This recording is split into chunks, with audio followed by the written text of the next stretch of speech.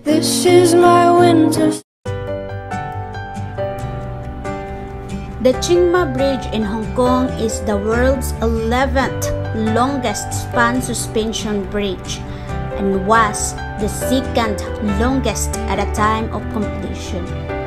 The bridge was named after the two of the islands at its end, namely Tsing Yi and Ma Wan. It has two decks and carries both road and rail traffic, which also makes the, the largest suspension bridge of this type. The bridge has main span of 1,377 meters or 4,518 feet and a height of 206 meters or 676 feet. The span is the longest of all bridges in the world carrying rail traffic.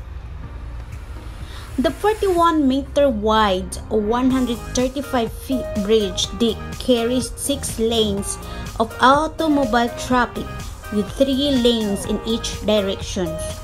The lower level contains two rail track and two sheltered carriage ways used for maintenance access and traffic lanes when particularly severe typhoon strike Hong Kong and the bridge deck is closed to traffic.